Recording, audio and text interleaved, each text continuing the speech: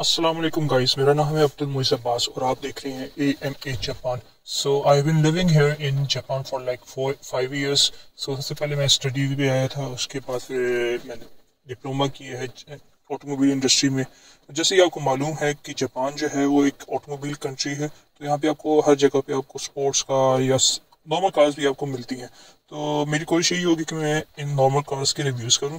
Plus جس جس جگہ میں وزٹ کرتا ہوں کوئی بھی ٹورسٹ پلیس پہ تو کوشش کروں کہ اس کو کوشش کروں کہ اس کو کیمرے کی آنکھ سے آپ سب کو دکھا سکوں۔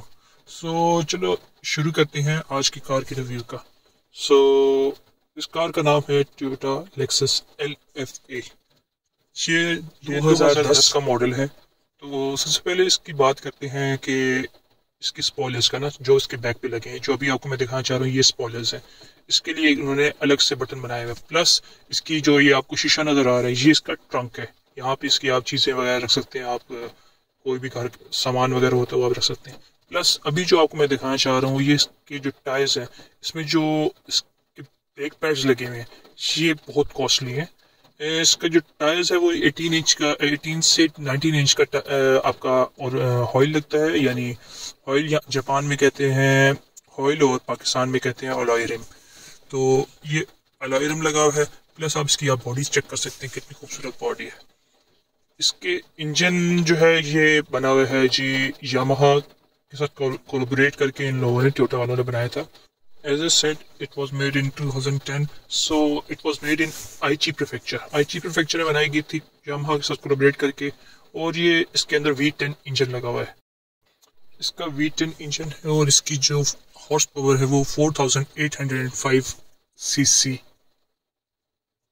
four thousand eight hundred five C C engine ہے یہ ایف اسپورٹس میں آتی ہے یہ گاڑی اس کا آپ اندر آپ دیکھ سکتے ہیں ابھی اس کی اندر کی تو تصویریں میرے پاس ابھی نہیں ہیں یا اس کی ویڈیو میں نے نہیں بنا پایا اس کے اندر مارکلوینسن لگا ہے اس کے ساتھ پیڈل شفٹرز ہیں اور آپ اس کے ساتھ ڈکٹس دیکھ سکتے ہیں نا جو اس کے ساتھ ڈکٹس بنی ہوئی ہیں یہ اگر میں ابھی آپ کو دکھا دوں تھوڑی دیر میں اس کی آپ بیک سے لائٹیں دیکھیں اگر آپ کو یہ جالی جو نظر آ رہی ہے یہ اس کی جو ہوا کے لیے ہے نا یہ یہاں سے بھی ڈکس کا وہ دکھا رہا ہوں کہ یہاں سے ہوا انٹر ہوتی ہے اور یہ اس کی سپیڈ میں کافی نا ہیلپ کرتا ہے۔ یہ six speed manual not manual but automated manual گاڑی ہے اسپورٹس کار ہے۔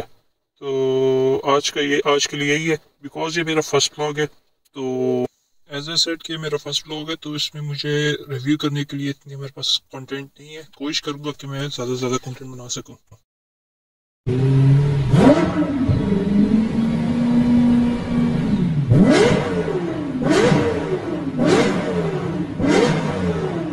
Woo!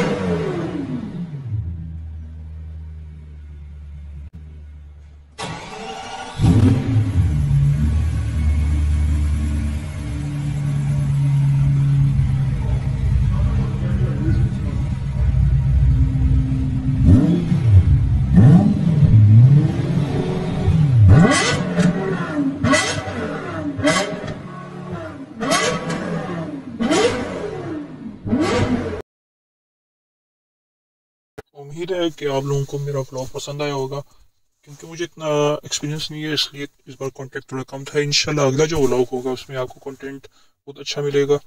جو اگلا جو کانٹینٹ آ رہا ہے، وہ آ رہا ہے اس گاڑی پر سزوکی چمنی یہ ٹوئنٹی ٹوئنٹی ٹو کا ماڈل ہے، تو انشاءاللہ اگلا ولاگ اس پہ اور ہوگا۔ چینل کو سبسکرائب کرنا نہ بھولیے گا اور ساروں کو اپنی دعاؤں میں یاد رکھیے گا۔ تو آج کے لیے یہاں پہ ٹیک آف کرتے ہیں۔ تو بائے بائے